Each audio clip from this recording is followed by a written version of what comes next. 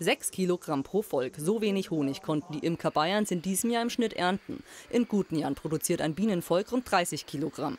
Ein Grund für die schlechte Ernte ist das verregnete Frühjahr.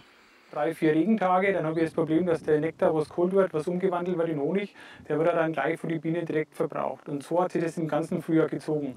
Was noch ein Problem ist natürlich, wenn es viel regnet, wird die Blattlaus in die Nadelwälder dementsprechend runter gewaschen. Und dann hat man natürlich auch nichts in der zweiten Tracht, also den Sommerhonig oder den klassischen Waldhonig, wie man kennt, weil da hat es dementsprechend hier bei uns im Landkreis äh, überhaupt nichts zum Ernten gegeben. Nicht nur schlechtes Wetter macht den Insekten das Leben schwer. Ein aus Asien importierter Schädling breitet sich immer mehr unter den Bienenvölkern Bayerns aus. Die Varroa-Milbe befällt die Honigsuche und schädigt deren Immunsystem. Das kann im schlimmsten Fall einen Zusammenbruch des Volkes auslösen. Die Varroa-Milbe ist eigentlich der Staatsfeind Nummer 1 der, bei der westlichen Honigbiene aktuell in Bayern. Und im Endeffekt sind wir jetzt mit der Bekämpfung fertig. Also ich habe bis äh, paar, vor ein paar Tagen noch die Ameisensäure äh, für, äh, quasi Behandlung durchgeführt.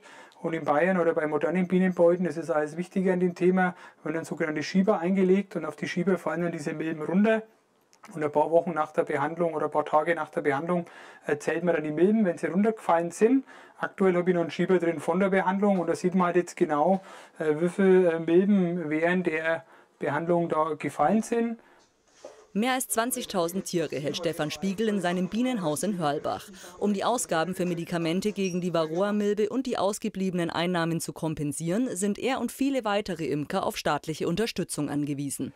Ja, man müsste eigentlich meinen, wenn ich regionalen Honig wenig auf dem Markt habe, dass der Preis ein bisschen steigen sollte. Natürlich ist so, ein Pfund Honig kostet bei uns hier auf dem Land 6 Euro, teilweise 7 Euro. Ist halt ein Regionalprodukt von hier für die Leute. Die Masse der Imkerinnen und Imker, die haben halt im Endeffekt den Haustürverkauf, der wo natürlich nicht stattfinden wird. Ich zum Beispiel kann keinen Honig verkaufen. Ein Jahr zum Vergessen geht für die Imker Bayerns zu Ende. Noch herrscht Betrieb im Bienenhaus, bevor die kleinen Insekten sich bald in die Wintertraube begeben. Bei Temperaturen unter 8 Grad Celsius bilden die Winterbienen eine Kugel, um sich gegenseitig warm zu halten. Während der kalten Monate ernähren sich die Bienen von den gesammelten Honigreserven. Ja, dann klappt man da auf und da ist jetzt das Wintervolk unten drin. Da sieht man jetzt auch schon die Honigvorräte, was ich drin habe. Die haben jetzt halt bloß noch neun Waben statt zehn ähm, Rähmchen. Und dann merkt man, dass die eigentlich total ruhig bleiben. Und wie gesagt, das obere kommt sowieso runter. Und da drin ist jetzt irgendwo meine Königin und die Restbrut, was sie noch haben. Und wie gesagt, das Futter ist jetzt eigentlich schon da.